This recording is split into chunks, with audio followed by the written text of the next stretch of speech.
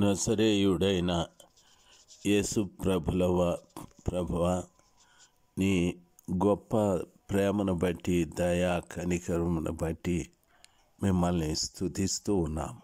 తండ్రి మీరు నిజంగానే సాటి లేని దేవుడు ప్రభ. మీకు అసాధ్యమైన కార్యం ఏది లేదు.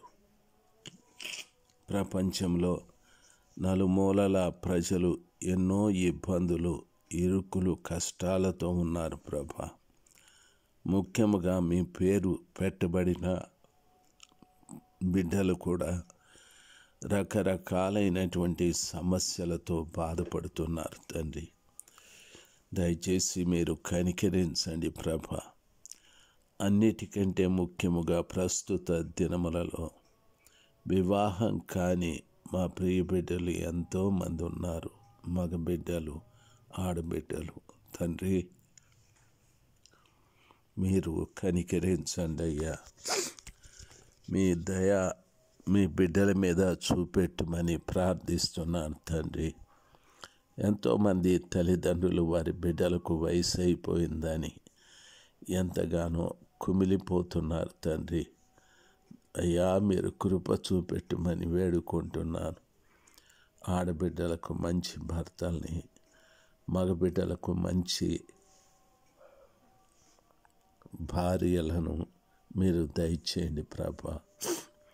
ఎందరో డబ్బులు అడుగుతున్నారు తండ్రి కట్నాలు కులాలు ఇవన్నీ కూడా దయచేసి మీ పేరు పెట్టబడిన బిడ్డలను మీరు కనికరించి ఇలాంటి వాటి నుండి దూరపరిచి ఒక నిత్యమైన సత్యమైనటువంటి ఒక జీవితము జీవించుటకు కృప దయచేయండి. బిడ్డల పరిస్థితులను మార్చమని క్రీస్తు పేరట వేడుకుంటున్నాను తండ్రి. ఆమెన్. సెప్టెంబర్ మాసం ఐదవ తారీఖు రెండు వేల ఇరవై ఒకటి ఆదివారం యహోష్వా గ్రంథం మొదటి అధ్యాయము పదమూడవ వచనంలో రెండవ భాగాన్ని ధ్యానించటానికి కృపగలిగిన దేవుడు మనకు సహాయము చేయనుగాక మరియు పద్మూడవ వచనంలో యహోవా సేవకుడైన మోషే మీకు ఆజ్ఞాపించిన సంగతి జ్ఞాపకం చేసుకొనుడి. ఎట్లనగా మీ దేవుడైన యహోవా మీకు విశ్రాంతి కలుగజేయుచున్నాడు. ఆయన ఈ దేశమును మీకిచ్చును అని వాక్యము సెలవిస్తుంది. మూడు విషయాలు ఈ వచనంలో మనము నేర్చుకోవాలి. వాక్యం సెలవిస్తుంది యహోవా సేవకుడైన మోషే. ఈరోజున సంఘమును నడిపిస్తున్నటువంటి సేవకులు ప్రియులరా ఈ రీతిగా ఉండాలి మోషేని గురించి మాట్లాడుతూ యహోబా సేవకుడైన మోషే అని అంటారు. అంటే మీరు ఎవరి సేవకులో ఎరుగుదురా? మీ దేవుడైన యహోవా సేవకులై మీరుండాలి. మనము మనుషులకు దాసులుగా. తరువాత సాతానుడికి దాసులుగా అనగా సేవకులుగా మనం ఉండకూడదు మనలను పిలిచి ప్రత్యేకపరిచి ఈ శ్రేష్టమైన పరిచర్య మనకు అప్పగించిన ఆ గొప్ప దేవునికి మనము సేవకులమై ఉండాలి. అంతేకాని మనుషులకు సాతానుడికి సేవకులై ఉండకూడదు.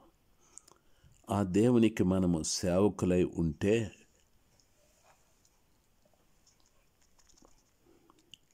బైబిల్ ఈ రీతిగా సెలవిస్తుంది?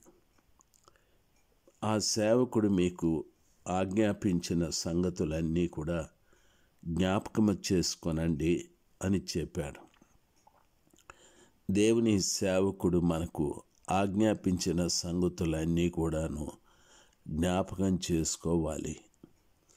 ఎంతోమంది దైవ సేవకుడు మనకు బోధించినటువంటి బోధ మనకు తెలియజెప్పిన సమాచారములో మర్చిపోతూ ఉంటారు. లోకంలో ఎవరైనా చెప్పిన సమాచారాలు బాగా గుర్తుంటాయి దేవుని పిల్లలైన మనకు ప్రియులరా గొప్ప దేవుడైన ఆ యేసు ప్రభుల వారి సేవకుడైన మోసే చెప్పిన మాటల్ని ఎలాగ మీరు జ్ఞాపకం చేసుకోవాలనో అదే రీతిగా ప్రస్తుత దినాలలో దైవ సేవకులు చెప్పేటటువంటి మాటల్ని మనము జ్ఞాపకం చేసుకోవాలి. ప్రియులర వాక్యము సెలవిస్తుంది.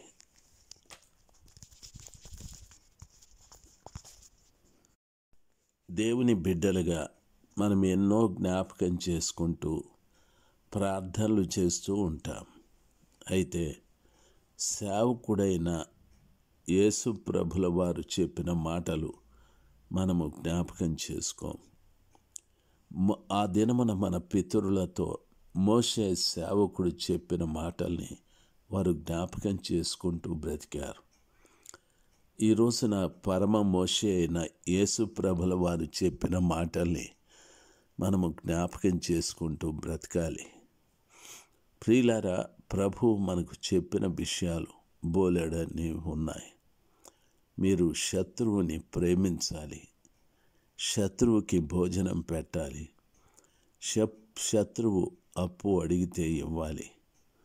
ఇవి మీకు జ్ఞాపకానికి ఉన్నాయా ఆ సర్వశక్తిమంతుడైన దేవుడు మనలను ప్రేమించి మనలో ఆ కృపగల దేవుని యొక్క దీవెనలు పొందుకోవాలని ఎన్నో ప్రభు ఆజ్ఞాపిస్తాడు.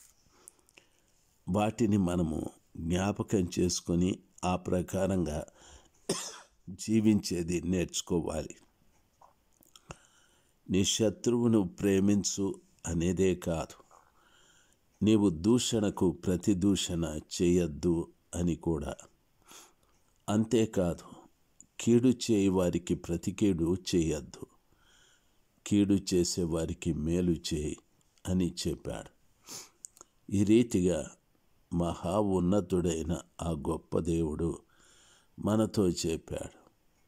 మనతో ప్రభు చెప్పినవన్నీ కూడా చక్కగా మనము జ్ఞాపకం చేసుకొని ఆ ప్రకారంగా జీవించడం చాలా ప్రాముఖ్యం. యేసుప్రభుల వారు ఇంకా ఎన్నో గొప్ప విషయాలు మనకు బోధిస్తూ వచ్చాడు. శత్రువు అప్పడిగితే ఇవ్వమని ఒకడు ఒకని కుడి చెంప మీద కొడితే ఎడమ చెంప చూపెట్టమని. ఈ దీనత్వమును కలిగి మీరు జీవించాలని ప్రభులవారు ఆయన బిడ్డలైన మనకు బోధిస్తూ ఉన్నాడు.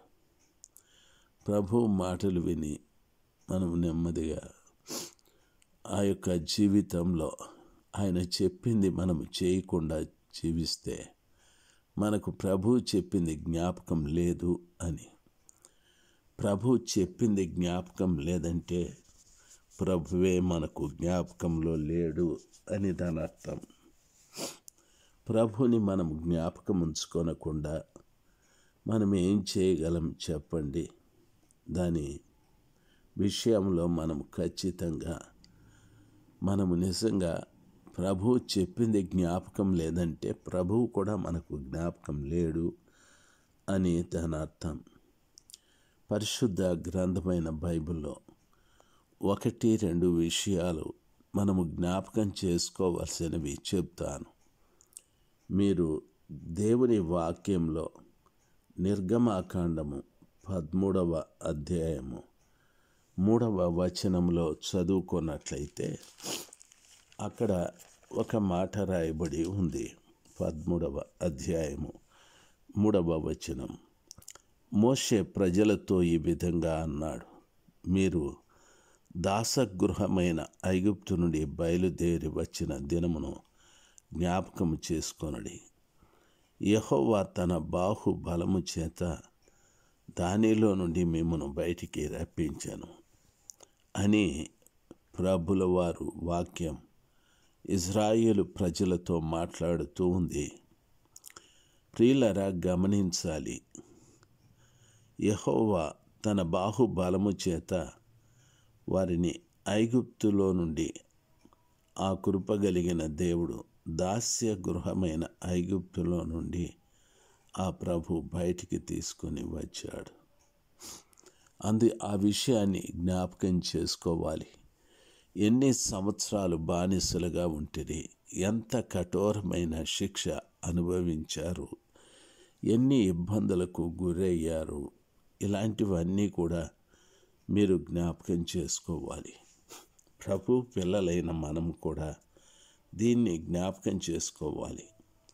ప్రభుని నీవు సొంత రక్షకుడిగా అంగీకరించక మునుపు ప్రియులరా నీ పరిస్థితి ఏమిటో జ్ఞాపకం చేసుకోనండి.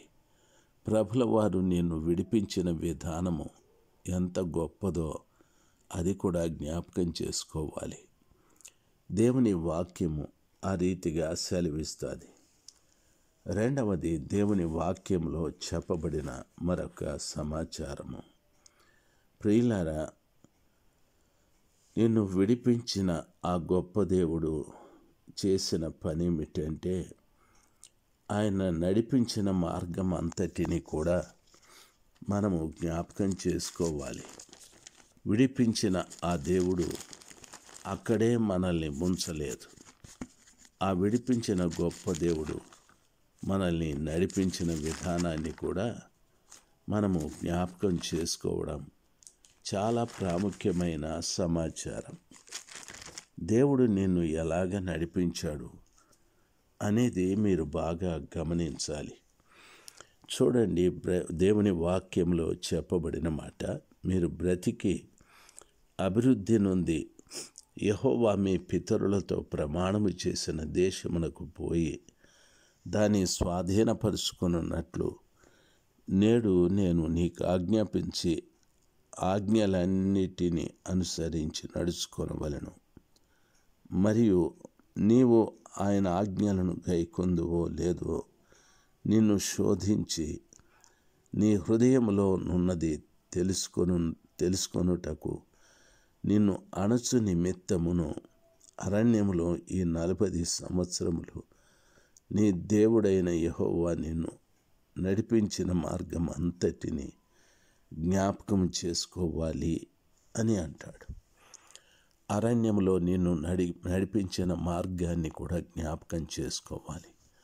మనం పాపం నుండి విడిపించబడి దేవుని మార్గంలోకి ఎలాగ నడిపించబడ్డామో జ్ఞాపకం చేసుకోవాలి. దేవుడు మిమ్మల్ని దీవించుగాక